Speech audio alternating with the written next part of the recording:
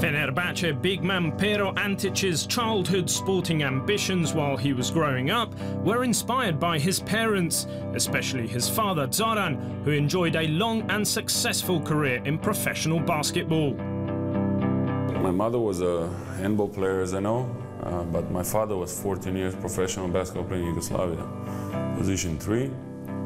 My brother was a professional basketball player, but he retired my father had a lot of medals, a lot of trophies, but they don't exist no more because me and my brother, they, we used them as, uh, as toys. At that time, we didn't know what, the, what were those.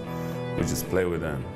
And my father was so busy because he started, after he finished career, he started working for a big company, so he was traveling, so whenever he came, he said, okay, you, you destroy one more, you destroy one more. So, sorry dad, you know, I will give him some of mine, you know. So, uh, I started I started to play basketball just because a lot of other kids went to play basketball. I really didn't. I wasn't in basketball. Uh, I see a lot of kids from the neighborhood going to start to play basketball. So I said, let's go. If you if you all go, I will go too. You know. So I, it wasn't my dad. My dad my dad didn't force me. Also, uh, he never. My father maybe come to 10 games all my career. He's that busy and. Uh, uh, he came to some of them. I was two years in NBA, he didn't come to watch me.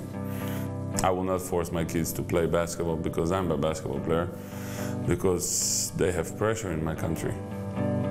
You know, they have to, usually in the Balkan, you have to go better than your dad. So, you know, it's, my career is pretty decent until now, so he have a big pressure now.